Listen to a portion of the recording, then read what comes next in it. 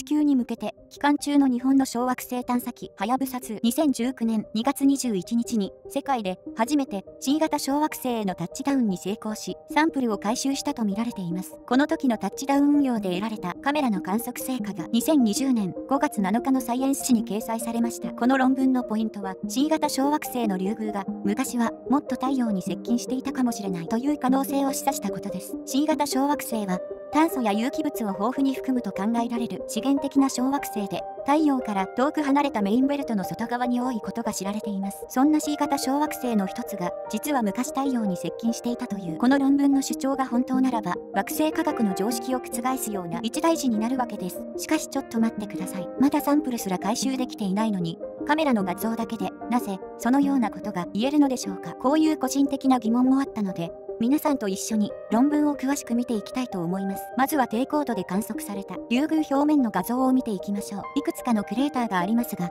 特に黄色い矢印で示されたクレーターに注目してください。同じ場所を、今度はマルチバンドカメラで見てみましょう。この画像では、ガスと近赤外の2つの波長で撮った反射率の比をとっています。スペクタル的に赤いクレーターと青いクレーターが存在することがわかります。先ほどの黄色い矢印で示されたクレーターは、すべて青いクレーターを示しています。青いクレーターと赤いクレーターの重なり方に注目しましょう。どちらが上で、どちらが下にあるでしょうか。青いクレーターが赤いクレーターの上に重なっていることがわかります。このことから赤いクレーターが最初にできて、青いクレーターは後にできたことがわかります。次に、タッチダウン地点周辺のより狭い領域での画像を見てみましょう。はやぶさ2はタッチダウンした後に表面から離脱するため、スラスターを吹きましたが、その時ガスに吹き飛ばされた大量の微粒子が舞い上がり、タッチダウン地点の周辺に堆積しました。この時堆積した微粒子が黒く見えているのがわかるかと思います。タッチダウンの前後でスペクトルを見比べると、最初は青かったのが後になると赤くなっています。つまり、もともと内部の物質は青かったのですが、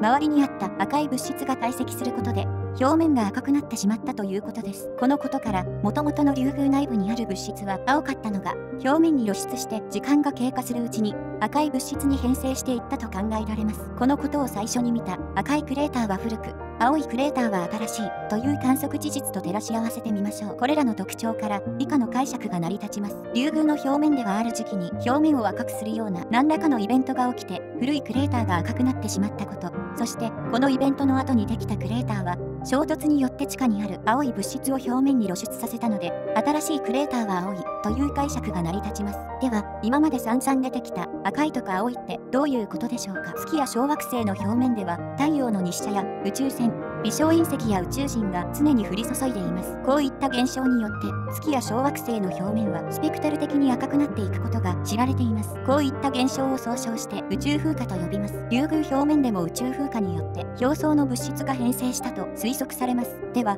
具体的に竜宮の表面を赤くしたイベントは太陽の日射宇宙船微小隕石のどれなのでしょうか。今回の観測から赤いクレーターと青いクレーターが明瞭に2種類に分かれることが分かりました。つまり赤と青の中間の色を取るようなクレーターがほとんど存在しないのです。このことは竜宮表面を赤くしたイベントが地質学的に短い時間に起こったことを示しています。先ほど考えた3つの可能性のうち宇宙船や微小隕石のフラックスが突然上昇するというのは考えにくいです。もしそうなら、月や地球にも顕著な影響が出るはずですが、今のところ、そのような痕跡は確認されていません。では、太陽の日射はどうでしょうか？もし、過去に、竜宮が太陽の近くを通るような軌道を持っていたら、太陽放射が短期間に急上昇することができます。これによって、今回の論文の主張、竜宮が昔は太陽に接近していたかもしれないが導かれました。また、青いクレーター年代の推定から、竜宮表面を赤くした現象、つまり竜宮が太陽に接近するイベントが起きたのは30万年前から800万年前の間だと推定されました。いかがでしょうか？この論文の主張が本当に正しいかどうかは